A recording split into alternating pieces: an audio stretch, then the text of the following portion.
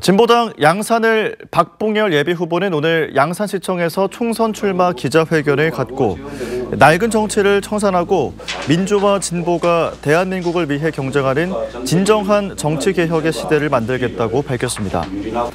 국민의힘 부산진갑 원영섭 예비후보도 부산시 의회에서 기자회견을 열고 건축학을 전공하고 변호사로 일한 경험을 살려 원도심의 진부화를 해결하고 부산 진구를 부산 경제의 중심으로 만들겠다고 밝혔습니다.